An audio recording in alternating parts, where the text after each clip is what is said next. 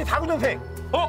우리 엄마랑 친구네? 아 그래요? 사구년생이야 우리 어머니. 우리 어머님 47년생이시거든? 우리 어머님 47년. 우리 엄마 46년생이야. 어, 어머님 몇 년생이세요? 51년생. 아, 지금 결혼을 되게 일찍 하셨나 봐요. 그때 할 게 없어가지고 결혼 혼자 하셨어요. 아 죄송합니다. 자, 저 여러 여러 하신 거야? 나중에 나중에 아, 얘기하고요. 고등학교 다니다가 할 거 없어서 결혼하셨다니까. 아, 취직도 안 되고 그래서 결혼했어.